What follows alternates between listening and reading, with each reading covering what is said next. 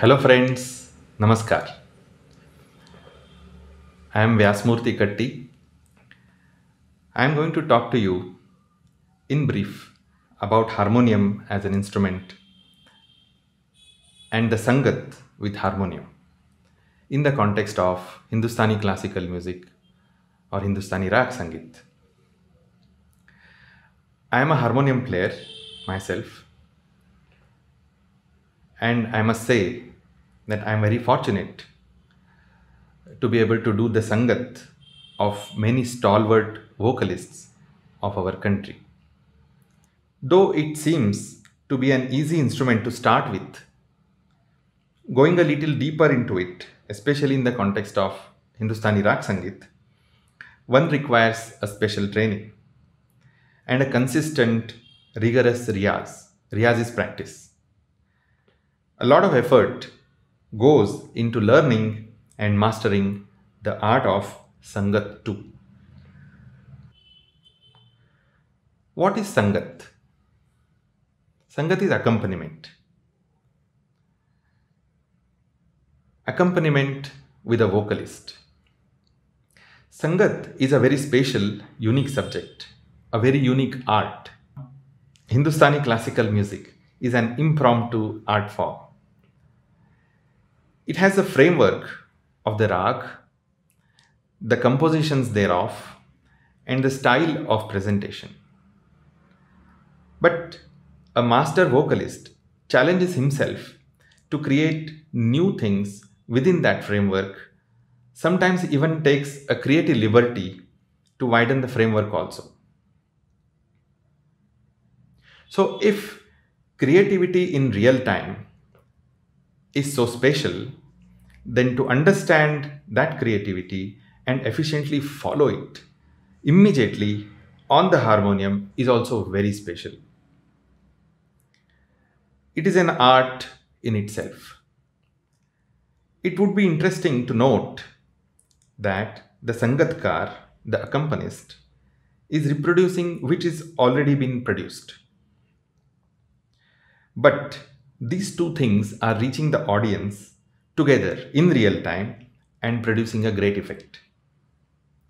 The harmonium Sangatkar, therefore, forms a very unique position on the concert stage.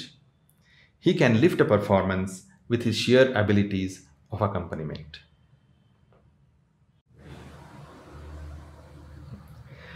Let's now quickly have a look at the history of harmonium very briefly.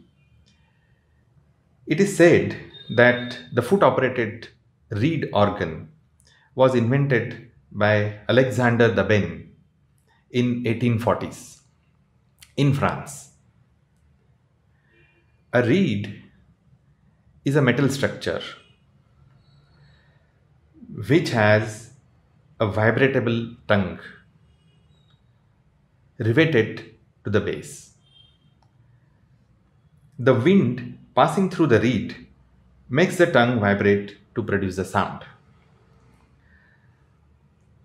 The bellows were foot operated. The keyboard was operated by both hands. Unlike this harmonium where we operated we operate the bellow with the left hand and the keyboard with the right hand. In the subsequent decades, the organ went through many improvements in Germany and France. It came to India through missionaries, and the organ found its place in churches initially. The organ became very popular due to the sweet tone. Subsequently, due to the efforts of Sri Dwarkanath Ghosh of Dwarkin and Company, the foot operated organ got converted to a hand operated harmonium and it is called as baja or just a peti. Today, the harmonium is an irreplaceable part of any concert. It is being used across the genres, including Hindustani Rag ghazals, semi classical, light music, bhajans, kavali, film music, etc. The contributions of stalwarts like Bhaiya Ganpat Rao and Govindrao Tembe and others need to be appreciated for popularizing harmonium in those days. Now let's understand the construction of the harmonium quickly. The harmonium is a Sushira Vadya, a wind instrument. The wind is pushed in through the bellows and is made to pass through the vents created by the pressing of the key. While passing through the vent, the wind makes the corresponding reed vibrate and thus the sound is produced. Very simple principle of sound production, isn't it? But it produces a very rich sound. The bellows structure and its mechanism, the keys and its mechanism, the reeds, the reed board, the sound compartment, and the wooden box are the important parts of the harmonium. Okay. Let's see here. These are the bellows so when I operate the bellow, the air is pushed in. So, and this is the keyboard. And when I press the key, there's a key structure here. This gets lifted up. And uh, below this structure are two vents. And the air passes through those two vents and thereby uh, producing the sound through the reeds here. The reeds get vibrated and it produces the sound. This is a reed board. This is a sound compartment. So I operate the bellows, press a key.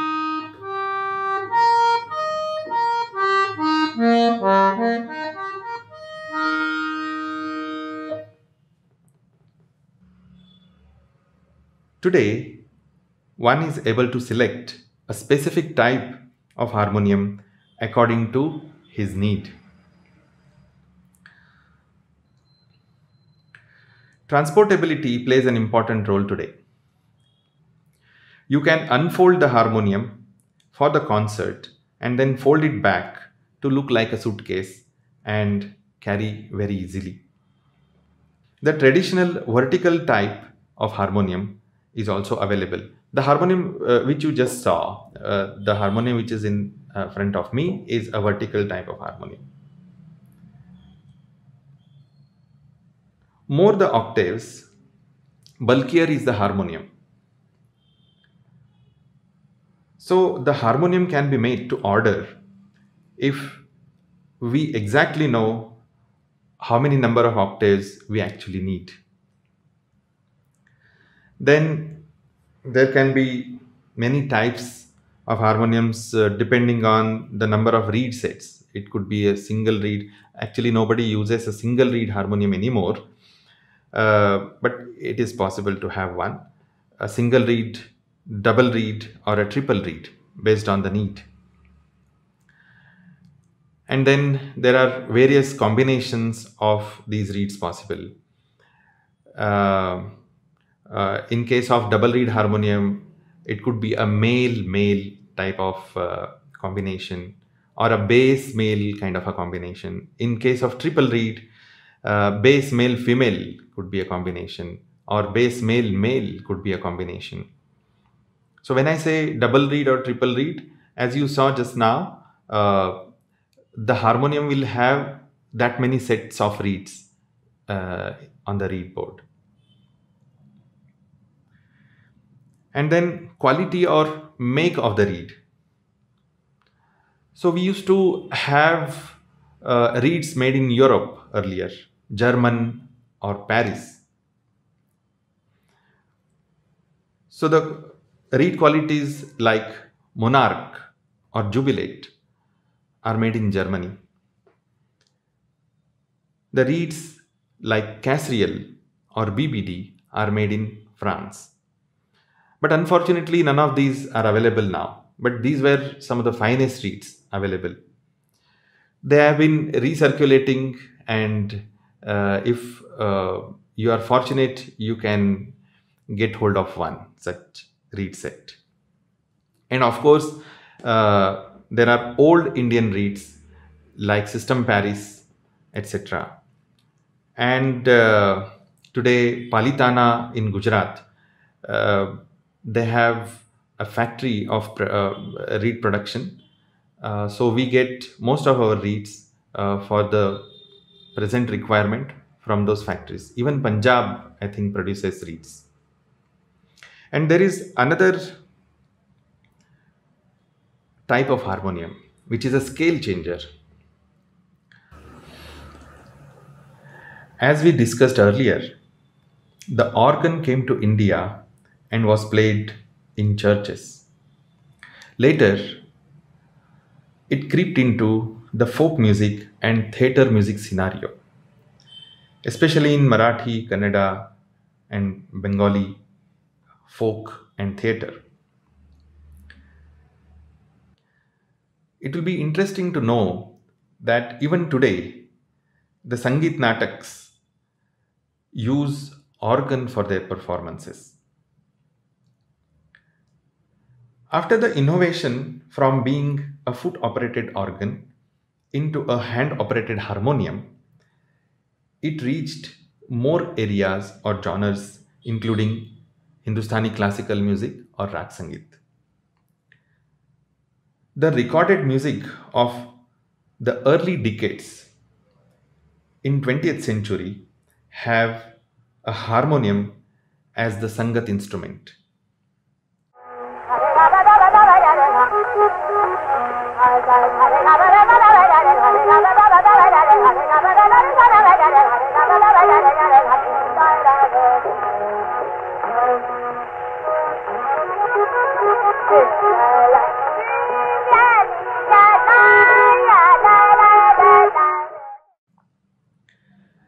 Its journey began from a single reed harmonium to a double reed instrument for better resonant sound. And then from a sweet sounding male male double reed harmonium to a more robust bass male kind of a harmonium to cater to the male voices also. Single reed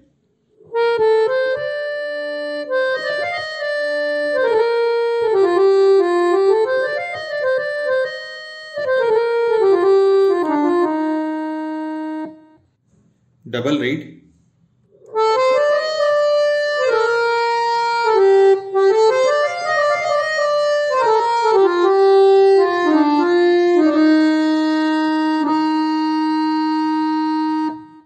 this was double reed male male. Now hear the sound of double reed bass male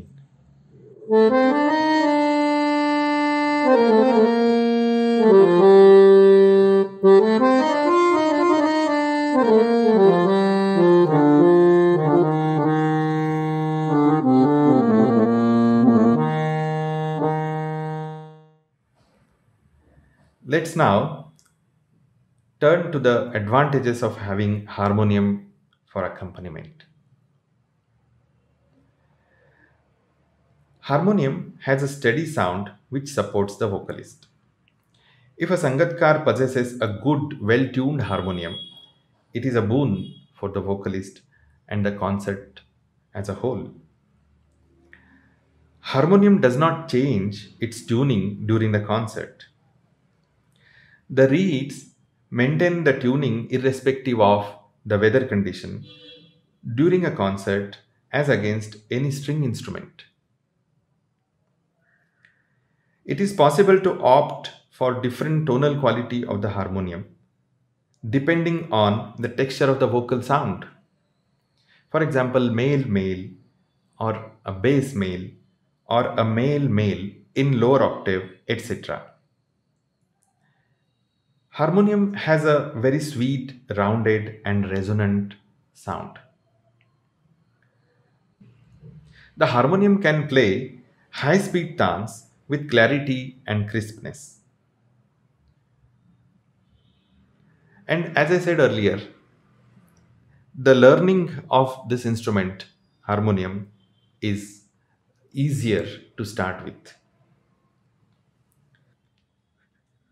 Harmonium can be played as a solo instrument apart from being an accompanying instrument. As you know, the harmonium being a keyboard instrument, there couldn't be a continuous progression of frequencies between two keys. However, this drawback could be overcome by understanding the timing of the mean and playing the keys in such a way that you give the same feel of the mean. Friends, let's now focus on the requirements to be a good Sangatkar. The diagram here represents the process of Sangat. A few sub processes are also involved. Let's understand them. The vocalist sings, the tabla plays, and the harmonium Sangatkar listens to it and decodes the music. He is experiencing the music here and at the same time visualizing the keyboard and the finger movements. Fingers movement takes place almost simultaneously. The same music is delivered on the harmonium. He listens to it, and if he finds something lacking, he tries to correct it during the next such available chance. The processes of listening, decoding, visualizing, fingering, and the corrective action thereafter are involved here. Better the skill in each of these processes, better the Sangat. There are occasions when the Sangatkar is needed to fill the spaces. Depending on what the vocalist is expecting, whether it is a breathing space or a thinking space, the Sangatkar is supposed to fill that space with meaningful matter or silence, respectively. Having a well tuned harmonium with a good rounded tone adds to the quality of the listening experience. It would be ideal if the Sangatkar knows the ragas, the compositions, and the typical development of the raga by the vocalist. The knowledge of Gayaki with respect to his gharana adds to the quality of accompaniment. A Sangatkar is normally a good solo player too. He can create the ragas in his own way as he is trained in that. But while doing the Sangat, he has to be aware that he is doing the Sangat and not playing the solo, and so has to be much restrained. Patience plays a good role here. Now, what are the challenges? It can be said that mastering all the requirements to be a good Sangatkar is very challenging. It takes a certain long time too. I am going to discuss a few connected aspects which may not have been discussed earlier. The challenges could be divided as on the stage challenges and off the stage challenges. The understanding of the musical likes and dislikes with respect to the Sangat of the vocalist and taking care accordingly to me is the greatest challenge. The concert goes very smooth once this understanding happens. Sometimes it so happens that the Sangatkar may have to play on different scales. The ability to maintain the continuity in playing notes using bellowing technique and key pressing techniques is also very challenging. Ability to tune the harmonium in a given scale as per the requirement is very challenging too. As a Sangatkar, one might associate with many vocalists. Each vocalist has his or her own pitch. The naturally tuned harmonium for every such pitch is a must for the better experience. So, to possess so many harmoniums, tuning them, maintaining them is a huge challenge. And it is a huge challenge financially too. By now, you must have understood the importance of the role of the harmonium as an accompanying instrument. With a little sadness, I must admit that the harmonium Sangatkars have hardly received the due recognition or accolades for their skills, hard work, and the value they bring to the concert scenario. Now we'll talk about training in harmonium. So I can divide this training into four broad portions. One is training in the techniques of harmonium playing, the tantra, the training in rag sangit, which is vidya, and then training in sangat and training in tuning aspect. So let us discuss one by one briefly. The first one, training in the techniques of harmonium playing. It is important to achieve the muscle memory of playing the harmonium.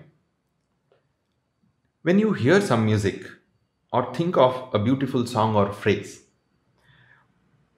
you must be able to reproduce it on the harmonium efficiently. It is about playing certain exercises again and again the Guru guides you with these exercises. The exercises are about scales, alankars, paltas, ragas, laya, etc. These have to be performed on a regular basis. These exercises improve the Swaragyan, Layagyan, and the fingering techniques.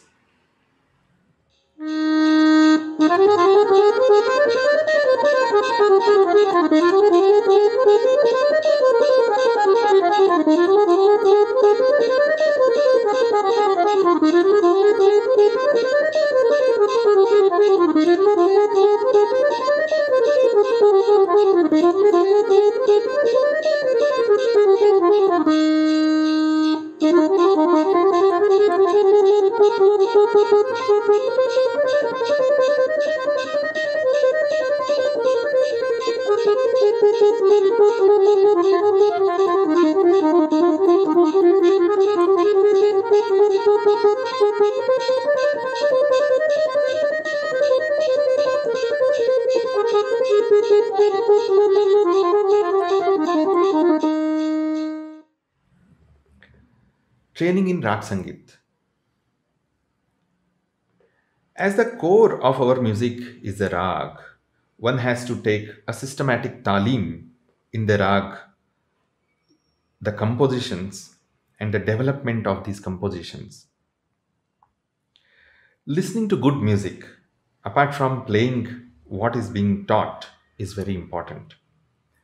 The training, the riyaz, accompanied by listening to quality music regularly improves the raga gyan. Training in Sangat.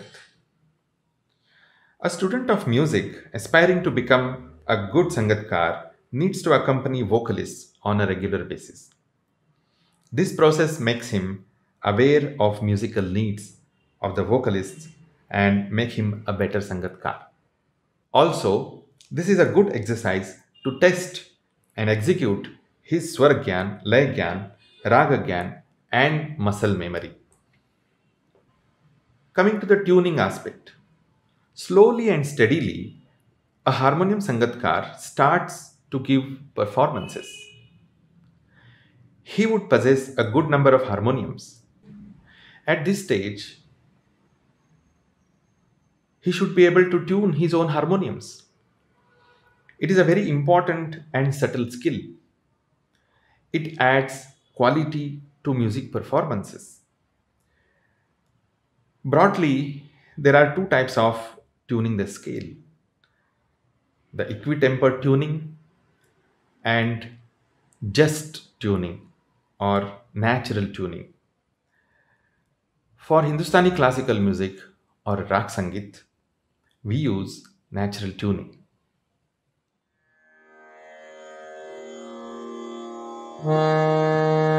Mm-hmm. With